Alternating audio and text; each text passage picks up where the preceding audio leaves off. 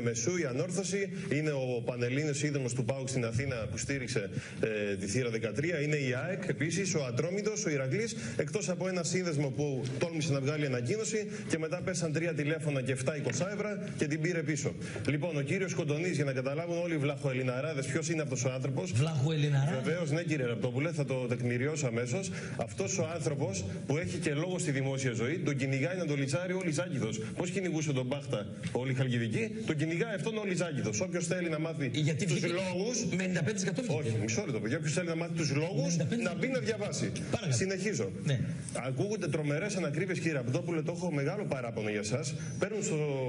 στη βραδινή σας εκπομπή Ναι. και λένε κύριε Ραπτόπουλε, δεν μας νοιάζει που ο Παναθηναϊκός έχει χρέος 70 εκατομμύρια ευρώ και βλέπω δεν τους διακόπτεται κύριε Ραπτόπουλε. Γνωρίζετε το χρέος του Παναθηναϊκού; Πόσο είναι ακριβώς ή πρέπει να σας το πω άλλη μια. Παναθηναϊκός και ο ΠΑΟ Βέβαια. το τε- Βεβαίως. τελευταία χρονιά έχουν το Συγγνώμη. μεγαλύτερο άνοιγμα.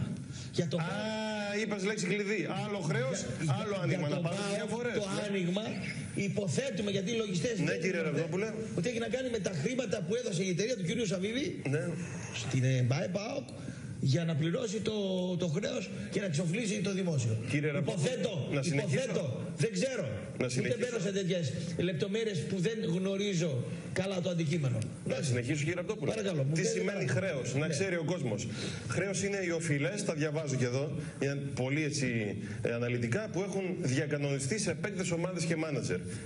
Παρελθοντικές οφειλές είναι δηλαδή το χρέος μιας ομάδας. Τι είναι το άνοιγμα που είναι δύο διακριτά και διαφορετικά πράγματα; Είναι οι υποχρεώσεις που έχει μια ανώνυμη εταιρεία, μια ΠαΕ, μια επιχείρηση σε βάθος χρόνου και δεν είναι άμεσες απαιτητές. Σε αυτές δηλαδή στο άνοιγμα μιας ΠαΕ περιλαμβάνεται το χρέος, οι προεισπράξεις δανείων, τα τρέχοντα λειτουργικά έξοδα, το μπάτζετ, οι μεταγραφές. Α πούμε για τον Παναθηναϊκό, ή το απείλιο που αγόρισε στο προπονητικό προσμετράται στο άνοιγμα, όχι στο χρέος. Ή η ανακαίνιση της λεωφόρου. Σας λέω κύριε Ραπτόπουλε με κάθε επισημότητα ότι το χρέος σήμερα 2016 του Παναθηναϊκού είναι 8,2 εκατομμύρια ευρώ και το άνοιγμα που υπάρχει περίοδος χάριτος για τη σταδιακή αποπληρωμή του είναι στα. Ε, που είναι; Εδώ πέρα στα 34 εκατομμύρια ευρώ. Από 85 που ήταν το 2013, σήμερα χρέος και άνοιγμα είναι 42. Ωραία. Επίσης, συνεχίζω κύριε Το, κα- Ραπτόπουλε. το καλοκαίρι θα αυξηθεί η ζημιά. Ναι. Τα χρέη του Παναθηναϊκού είναι 8,2 Μην εκατομμύρια ευρώ. μιλάτε μαθηματικά σε αυτή την εκπομπή. Ωραία, που πολλά. σημαίνει Ναι, ότι λέγε. με, στους ομίλους συμμετοχή, πωλήσεις, διαργίες κτλ. σε ένα χρόνο, όπως είπε ο Αλαφούζης, τελειώνει. Ωραία. Συνεχίζω. Πάμε.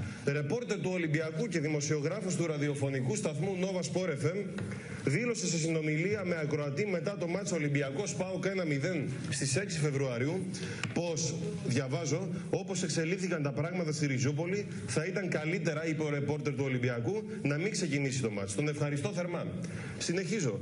Ρεπόρτερ της ΑΕΚ και δημοσιογράφος του ραδιοφωνικού σταθμού Nova Sport FM 94,6 σε συνομιλία με ακροατή της ΑΕΚ μετά το μάτς ΑΕΚ Ολυμπιακός 1-0 στις 13 Φεβρουαρίου του 2016 είπε σε σειρά αντιμετώπισης από τη διαιτησία, είπε ο εξή ρεπόρτερ, ο Παναθηναϊκός έχει τη χειρότερη.